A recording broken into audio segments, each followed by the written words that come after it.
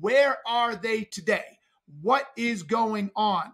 Why do they think that they change? What are the issues they're having? How is it affecting the business? What happens if they don't do it? You uncover all of that, and that's called the current state.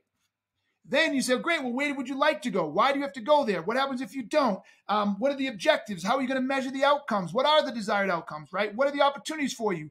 And once you do that, believe it or not, a gap is formed.